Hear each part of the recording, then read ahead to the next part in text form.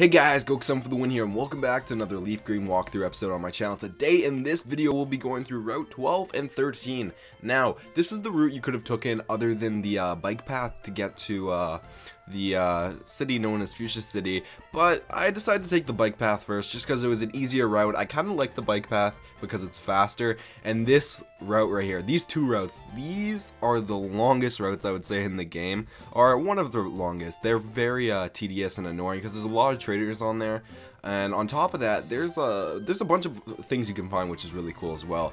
There's one item in particular you would want to get from this route though, or these two routes, which is the Super Rod, because you can get a bunch of brand new Pokemon with it. Well, not brand new, but like really good Pokemon. For example, you could get a uh, Gyarados, which would be a great addition to your team if you want a good water type. Now, I probably shouldn't use Giga Drain on this Bellsprout because we all know Grass ain't effective against this thing, but he's going to use Stun Spore on us. I didn't know that was effective against another Grass type.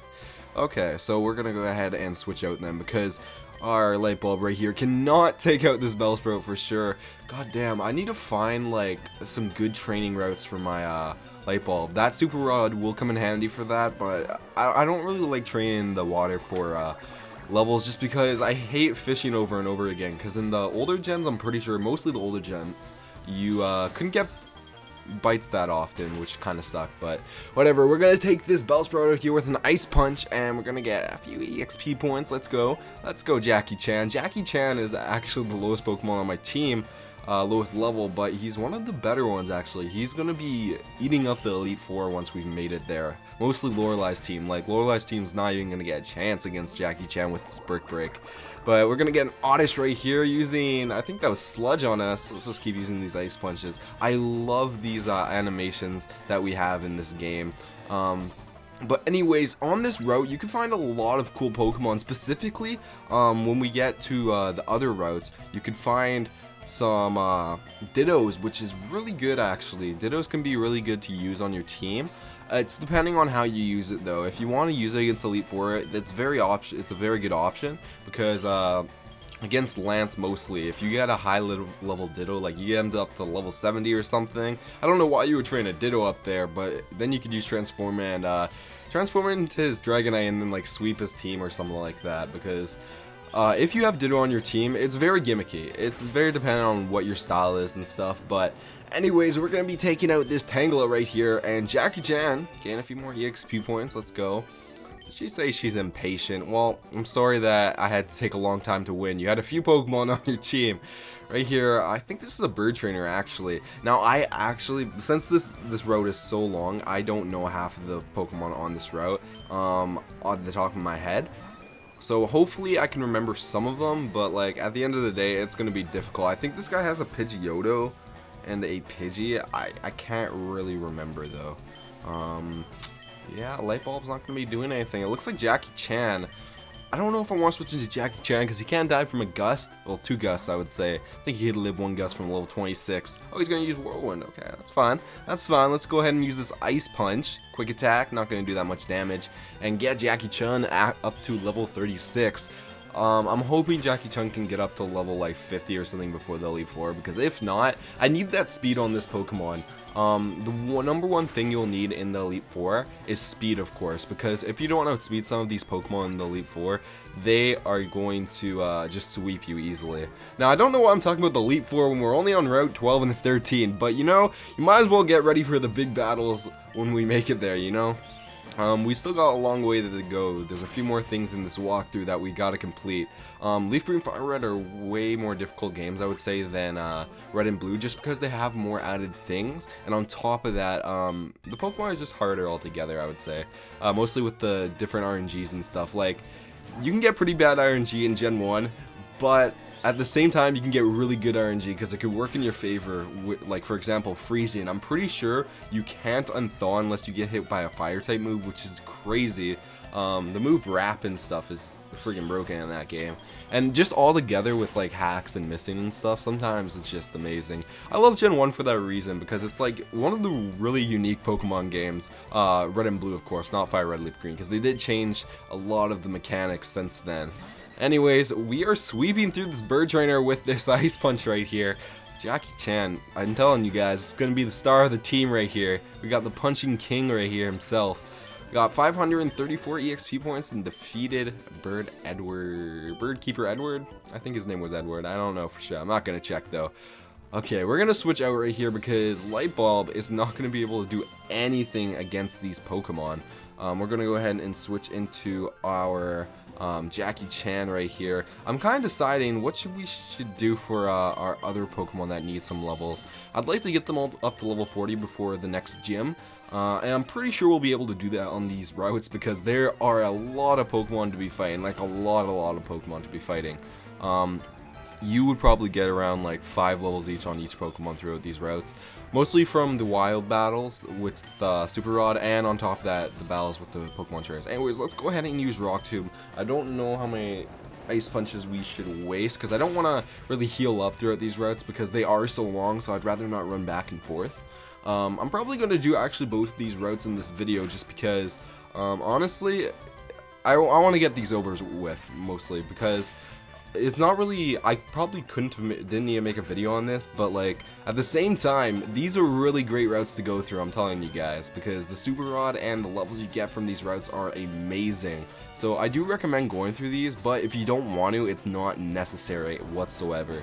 Uh, I remember a couple of years ago, actually, I don't know if I've talked about these in my earlier videos, but I made a Leaf Green walkthrough on a different channel, and that was when I was first starting off YouTube. I completely forgot about this route, like I didn't even think it existed. And then I finished the walkthrough, I was like, oh crap, I totally skipped half of the game here.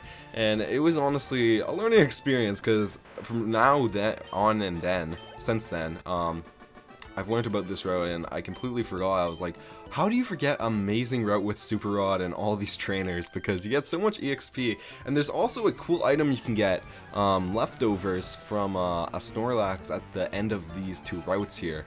Um, but you do need something called an item finder, and I'm pretty sure you need to catch a decent amount of Pokemon through your Pokedex, um, and then go up to a scientist in one of the little buildings that separate routes and then you'll get from him. But that's mostly with any item. Um, you can get the amulet coin, you can get a couple of things. Like, they're really good items. I think we actually got the amulet coin. I can't remember if we did or didn't. Uh, I haven't checked in a while. But anyways, let's go ahead and use Rock Tomb once again. Gloom, yes, we got a critical hit. Okay, I was actually praying for that because I was like, okay, Gloom's gonna live this, and then we're just gonna take more poison damage. And uh, honestly, I think Nah, we're gonna stay in with Jackie Chan. I think I could one-shot these guys with an Ice Punch if I really want to. Um, I've just been using Rock Tomb to kind of save my PP for other battles, but since we only have 4 PP in both, I might as well just use Ice Punch right now and uh, get as much levels as I can on Jackie Chan at the moment. And actually, we might die from this acid right here since Jackie Chan was poisoned. Hopefully, we could live it. Come on, Jackie. And no, Jackie Chan's gonna fall. I probably should have healed, but whatever. Let's go ahead and switch into Chaotic right here. Get him with that dig and make sure, uh... Actually, you know what? I'm going to use Rock Slide. I don't want to waste a turn. I'm pretty sure this will kill anyways. Just because Sandslash has a huge attack stat. We're pretty high level. On top of that, it's an Oddish. Oddish just can't take attacks for crap. But we're going to go up to level 39 here. Chaotic, let's go. And Picnicker's going to send out a Oddish next. Okay, another one. Let's go ahead and use Dig this time because I want to get this over with. And I actually can't remember, actually, if uh, Oddish is a Poison type or a Grass type in its first evolution. We'll see right here if it's super effective or not, but hopefully. And it took him out anyways, but it looks like he is not a Poison type. Okay, I thought so. But at the back of my head, I was like, hmm, this thing can definitely be a poison type. I don't know why they didn't, but at the same time, I could see. If he was poison type in Little Cup, I'm pretty sure that would make him a lot better, honestly. If you guys don't know what Little Cup is, Little Cup is a tier in competitive battling where you use the first evolution of Pokemon to battle, and you're only allowed them. Now, there's a couple of broken things in Little Cup, that's for sure, and they banned them. Or things that could have been Little Cup, but they banned it before it made it in. And let's use Dragon Rage, actually. We got Roshi out. I didn't switch out. I didn't think about it, but you know, might as well use our Dragon Rage, get that base 40 attack on this Bulbasaur. Man, I remember when our Pokemon was a Bulbasaur, and did Light Bulb suck? I'm pretty sure he was good at the beginning of the game, but I don't know. If you guys know what a uh, emulator called, well not an emulator, a ROM, that is called Ash Gray, um, it's an amazing ROM, but if you try the no evolution thing, like how Ash actually didn't evolve any of his Pokemon, like his Bulbasaur, his Squirtle and stuff, and Pikachu. It is one hard ROM, that's for sure, because Bulbasaur has a horrible defense stat compared to other Pokemon that are fully evolved and stuff, and it can't take hits, and it can't outspeed anything, and it can't attack anything for shit either. But, you know what, we're gonna take out that Bulbasaur right there with our Dragon Rage, and I'm gonna switch out Roshi actually, because I want Roshi to get some levels. Um, let's go ahead and heal up Light Bulb real quick. Okay, it is time to train up our light bulb. I just healed him up real quick, and actually, you guys will get mad at me if I tell you this. I used a full restore just to heal his pair pair hacks, but you know, I gotta get that uh, heal on the paralyzed because he's already slow enough as he is, and I might as well uh, get some levels up on him instead of running back to the Pokemon Center. Even though I'm pretty sure the Pokemon Center is pretty close to us right now, but you know what? Why not? Why not? We can we can buy more full restores later on. Uh, let's go ahead and leech seed this Pidgeotto right here and uh, get some health back while we're at it if he attacks us.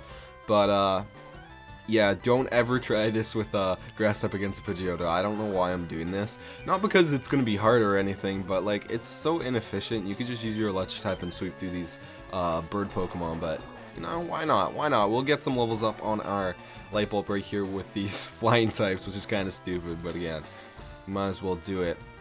And I'm surprised actually Pidgeotto stayed asleep for two turns. Usually, when I do this, he usually wakes up the next turn, which is kind of funny. Okay, Giga Drain's to take out Pidgeotto right here, and hopefully in the next few battles my light bulb will be level 40, because I really don't like using my light bulb just because it, unless he has like either a super effective move against the Pokemon or like for example I'm versing a normal type right here, Giga Drain's just not really doing much to uh, flying types and like fire types and stuff. Of course, because it isn't very effective, but at the same time, look, we didn't even take a Wigglytuff and we're way higher. And also Giga Drain doesn't have that much PP on it as well, which is also a drawback, but uh, it's the strongest move we got. Vine Whip I don't think would be doing as much as Giga Drain right here, but Wigglytuff is going to go down, and Beauty Grace is going to be defeated. Let's go. I honestly thought about getting a Wigglytuff on my team at one point because I did use him in Red and Blue. I don't know how he would be in Fire Red Leaf Green, but you know, Wigglytuff is a pretty good special attacker. Um, it got way better in Gen 6, of course, when we got that fairy typing, but like, it was still a good one as a normal type. If we got like, I don't even know if Hyper Voice is a move in this game, actually, thinking about it now, but if it is, god, this thing would be pretty good on an in-game team, I would say. Mostly if you can get a Choice Specs or something. I don't know where you would get Choice Specs, because honestly, I don't know where you would get one in this game, but like, if you were able to, that thing would be one strong attacker for sure. Now, Koffing. can you just die, please? If you poison me somehow, even though I'm a grass type, I'm gonna be so mad. And if Lightbulb, if you miss this Vine Whip, you're going back into your ball. Good job, you took out the Koffing. I hate Koffings when I'm using my light bulb because it just does zero damage, dude. It does zero damage. Let's go ahead and actually switch over to SSJ Coco here.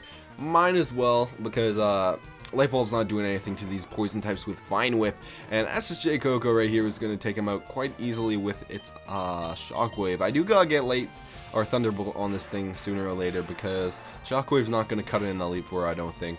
I gotta get them one-shots everywhere. He's going to use Screech right here, lower our defense harshly, and uh, he's going to die from a Shockwave. That's fine with me. Now, this route right here, this isn't like the first route. There's a lot more to go. Like, I'm telling you guys, there's a lot of trainers. I'll probably skip some of them when we get later on. But for now, if you guys are like following me along in this walkthrough or something and likes doing everything I do, uh, I'll show you guys some battles. But like, at the same time, they get very repetitive because there's a lot of trainers. So I don't think I'll show all of them. But you guys could do what you guys want to do with the levels on the trainers I don't show. I do know how fun it can be though when you're following a YouTuber or someone who's playing a walkthrough. Uh, it is super fun following what they're doing because you kind of feel like you're playing the game with them at the same time. Um, because you're doing exactly what they're doing, of course.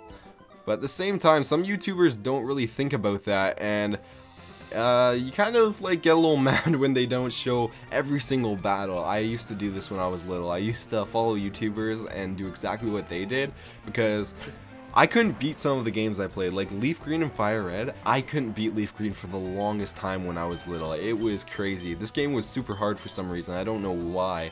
I started off with Heart Gold and Soul Silver, which I'm pretty sure is way harder than Leaf Green Fire Red. Maybe not the Elite 4 the first time, but the second time, the second Elite 4, that is a hard run to go through. Um, recently I actually went through it, which is kind of funny, and I beat it with level 40s, which is pretty amazing actually. I I was pretty surprised. I also beat Trainer Red with level 30s and 40s. I was like, oh my god, how did I do this? But I got the major hacks. I stole them out with potions and stuff, which was kind of funny. Killed him with um, the hail that goes on in that battle in Leaf or in Heart Gold Soul Silver. Anyways, SSJ Goku is sweeping through these Pokemon right here. Problem is we got poison, so might have to go actually heal up back to the Pokemon Center, which kind of sucks. I didn't want to do that, but you know, I might as well do it just so my Pokemon are back at full health and they can get them levels that they need. Um, SSJ Goku is going to go up to level 38 soon, which is great. Don't have to train much longer. I think once the Pokemon's at level 40 for the next gym, I'll just stop training them for the rest. And I do recommend doing that because, like, you might as, because you will get more levels after uh, Blaine, which is the next gym leader. Um, but you don't need level 40s or higher if you have 6 Pokemon on your team. But if you do want to train your water type Pokemon up to a higher level, go for it. Uh, it makes the gym 10 times easier, of course, but I always like a challenge. I always like capping my Pokemon at a certain level just so it isn't too easy, but also too, isn't too hard at all. Now SSJ Koko is going to go up to level 38, and Koffing's going to come out. And hopefully we can live a few more poisons here. I don't know for sure though. Ah, uh, we got 10 EXP points. Shockwave, please take him out. I don't think I'm going to one-shot, but maybe I can get that crit. Hey, okay, he's going to one-shot. That's great. I think it's because we went up a level, but SSJ Koko right here is not going to die from poison just yet. Actually think if we stayed in right here, yes, he's going to die from poison. God damn it, Koko. Why did you have to do that? Why'd you have to die on me, man? Let's go ahead and switch out, though. Um, Chaotic is almost level 40. Let's might as well get him up there. Um, he's got a few more battles to go, that's for sure, though. Um, let's go ahead and dig. Go down into the ground and then attack him with that strong ground type against his poison and take him out in one shot. I honestly don't know why all these trainers have poison types and poison types and flying types. That's all the Pokemon they have on these teams and Light can't do anything against them, which kind of sucks. But Biker Urs I don't know how to pronounce that name. That's a weird name, guys. I've never seen that before. But anyways, I'm going to go heal up, and I'll see you guys in a bit.